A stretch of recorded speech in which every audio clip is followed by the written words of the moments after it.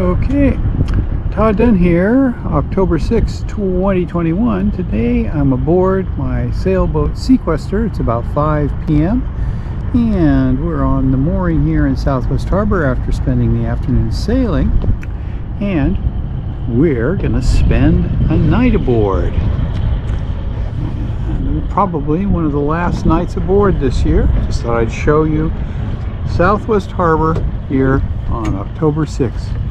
2021. Harbor is definitely starting to thin out as pretty much all the transient boats are gone and we just have local boats left. And up here, straight into the sun, of course. There's the west end of the harbor. There's the breakwater. The marina is behind that. And a few other boats here in the harbor. So, this is Southwest Harbor at about 5 p.m.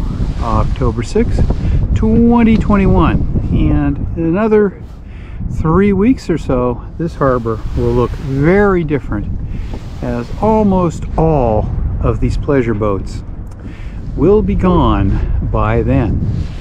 I know Sequester should be. We're scheduled to haul out on October 21st, which is two weeks from tomorrow.